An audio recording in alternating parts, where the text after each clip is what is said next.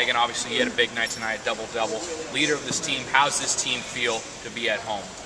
Uh, it feels great. It's good that we had a home game right away, like quickly in the season.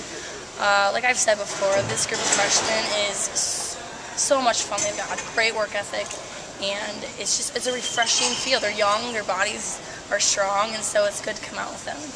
You know, you have a tournament coming up this mm-hmm. weekend. Obviously, you had a lot of momentum going into tonight. Yeah. How's that going to translate into this weekend? Oh, definitely. Especially going to, I mean, I'm okay with going to a fifth game. You know, it shows our work ethic. It shows our how how much we can push. So we know that no matter what position we're in this weekend, when we're going to be put in positions, it's volleyball.